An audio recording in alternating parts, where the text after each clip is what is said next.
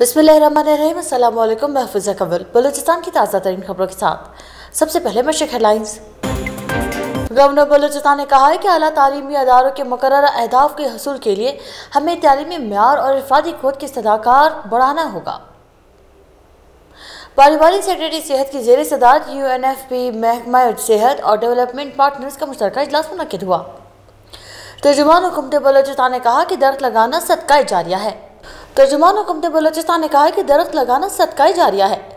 चौदह अगस्त के इंतज़ाम के हवाले से ज़िले अफसरान के अजलास की सदारत डिप्टी कमिश्नर अवरान ने की। सेक्रेटरी सेहत ने गुजशत रोज़ लोरलाई और बारखान का दौरा किया। पाकिस्तान डायमंड जुबली जश्न आज़ादी चौदह अगस्त स्पोर्ट्स फेस्टिवल 2021 के सिलसिले में ज़िले हेड क्वार्टर वॉशक में मुख्तलिफ़ खेलों का अफ्ताह किया गया। सूबाई दारकूमत कोयटा में सिरकी रोड पर यौम आज़ादी के मौके पर परचम फरोख करने वाली रेडी के करीब दस्ती बम फटने से एक बच्चा जख्मी हो गया। कोयटा में सीटीडी ने कार्रवाई करते हुए पाँच मुबैना दहशत गर्दों को हलाक कर दिया। अब खबरें तफसील के साथ।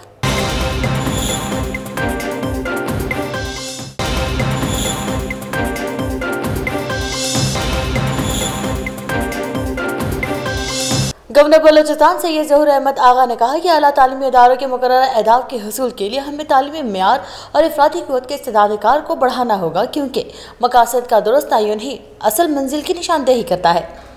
इन ख्याल का इजहार उन्होंने मंगल के रोज़ गवर्नर हाउस कोयटा में बीटम्स यूनिवर्सिटी के vice chancellor engineer Farooq Bazai से गवर्नर हाउस कोयटा में मुलाकात के दौरान गुफ्तु करते हुए किया।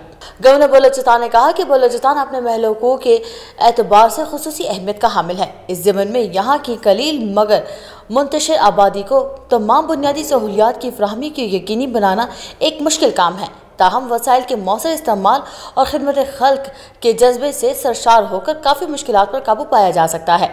इन ख्याल का इजहार उन्होंने मंगल के रोज़ गवर्नर हाउस कोयटा में दाऊद खान, इतमान खेल और हाजी हसन की क्यादत में लोरलाई के वफद से बातचीत करते हुए किया। पार्लिमानी सेक्रेटरी सेहत डॉक्टर बाबा खान बुलिदी की जेर सदारत यू एन एफ़ पी महकमा सेहत और डेवलपमेंट पार्टनर्स के मुश्तर अजलास मंगल के रोज़ मुनद हुआ।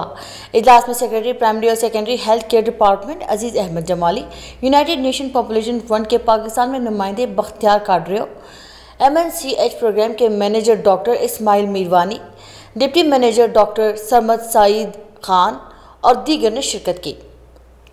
महकमा सेहत यू एन एफ़ पी और डेवलपमेंट पार्टनर्स के इस इजलास में जचा और बच्चा से मुतलिक तिबी सर्विसेज़ को बेहतर बनाते हुए बलोचिस्तान में माँ और बच्चे की सेहत से मुतलिक मज़बूत इकदाम उठाने पर इतफाक़ का इजहार किया गया। तर्जुमान हुकूमत बलोचिस्तान लियाकत शाहवानी ने कहा कि दरख्त लगाना सदका जारिया है और इंसानियत की खिदमत का बेहतरीन ज़रिया भी ज़्यादा से ज़्यादा दरख्त लगाना ज़मीनी माहौल को साफ़ सुथरा रखने के लिए इंतहाई ज़रूरी भी है। लिहाजा हम सबको बढ़ चढ़कर इस नेक काम में हिस्सा लेना चाहिए, ताकि हम अपनी आने वाली नस्लों को साफ़ सुथरा और आलूदगी से पाक माहौल फ्राहम कर सकें। इन ख्याल का इजहार उन्होंने Nisa institute of sciences and art में पौधा लगाकर शजरकारी मुहिम के आगाज़ के मौके पर किया। चौदह अगस्त के इंतज़ाम के हवाले से ज़िले अफसरान का अजलास डिप्टी कमिश्नर अवरान मीर सैफुल्ला के एहतराम की जेर सदारत मुनद हुआ। इजलास में तमाम ज़िले अफसरान पुलिस और एफ़ सी के नुमाइंदों और ताज बरदरी ने कसी तादाद में शिरकत की। इजलास से खिताब करते हुए डिप्टी कमिश्नर ने कहा कि चौदह अगस्त की मरकजी तकरीब पर चमकुशाई डी सी ऑफ़िस में मुनद होगी और चौदह अगस्त के जुलूस मुख्तलिफ़ इलाकों से निकाले जाएँगे। बाज़ार को सजाने के लिए दुकानदारों का बड़ा किरदार रहा है। इसके अलावा खेलों के मुकाबले कराए जाएँगे शायान शान तरीके से मनाने के लिए इंतज़ाम को आखिरी शक्ल दे दी गई है। सेक्रेटरी खेल इमरान गिचकी ने गुजशत रोज लोरलाई और बार खान का दौरा किया। इस मौके पर कमिश्नर जोब डिवीज़न शाहिदुल्ला खान समेत दीगर भी मौजूद थे। सेक्रेटरी स्पोर्ट्स इमरान गिचकी ने जेर तामीर, स्पोर्ट्स कॉम्प्लेक्स, लोरलाई और बारखान का मुआयना भी किया।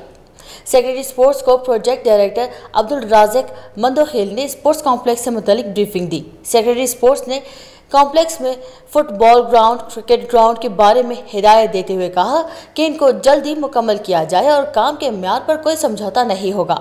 मौजूदा हुकूमत सूबे में खेलों के फ़िरोग के लिए पुरज़म अपनी नौजवान नस्ल को मौाक़े फ्राहम करने के लिए जाम हमत अमली के तहत इकदाम कर रही है, जिसके समराज से यूथ मुस्तफ़ हो रहे हैं। पाकिस्तान डायमंड जुबली फेस्टिवल, जिसने आज़ादी चौदह अगस्त स्पोर्ट्स फेस्टिवल 2021 के सिलसिले में ज़िले हेड क्वार्टर वॉशक में मुख्तलिफ़ खेलों का अफ्ताह किया गया। इस सिलसिले में district sports officer Habiburrahman Kabdani ने फुटबॉल मैच का अफ्ताह किया। इसी तरह नेशनल बैंक वॉशक के मैनेजर किफ़ायतुल्ला ने क्रिकेट और नादरा वॉशक के ज़िले ऑफिसर मोहुद्दीन मैंगल ने वॉलीबॉल मैच का अफ्ताह किया। वॉशक में फुटबॉल क्रिकेट और वॉलीबॉल के मैच खेले जाएँगे। ये फेस्टिवल 14 अगस्त तक जारी रहेगा। महकमा स्पोर्ट्स की जानब से फेस्टिवल का इनका किया जा रहा है ताकि खिलाड़ियों की हौसला अफजाई के साथ साथ वो इस दौरान अपने टैलेंट दिखा सकें। फेस्टिवल की इब्तदाई तकरीब फुटबॉल ग्राउंड वॉशिप में मुनद हुई और फेस्टिवल का बाकायदा अफ्ताह स्पोर्ट्स ऑफिसर हबीबुलरहमान कप्तानी ने किया।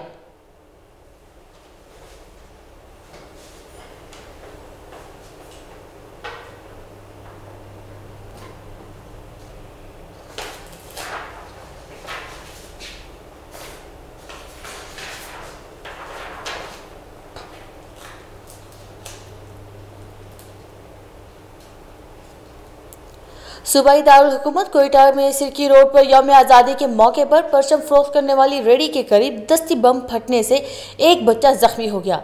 धमाके से इलाके में खौफ हरास फैल गया। धमाके की इतला मिलते ही पुलिस मौके पर पहुँच गई और इलाके को घेरे में लेकर जख्मी को अस्पताल मुंतकिल कर दिया। कोयटा में सीटीडी ने कार्रवाई करते हुए पाँच मुबैना दहशत गर्दों को हलाक कर दिया है। तर्जुमान सीटीडी के मुताबिक सीटीडी ने दहशत गर्दों की मौजूदगी की इतला पर कोयटा के इलाके मगरबी बाईपास पर सर्च ऑपरेशन किया, जिसके दौरान फायरिंग के तबादले में पाँच दहशतगर्द मारे गए। दहशतगर्दों के जेरे इस्तेमाल कंपाउंड से असला और गोला बारूद भी बरामद हुआ, जबकि कार्रवाई में फोर्सेस का कोई जानी नुकसान नहीं हुआ।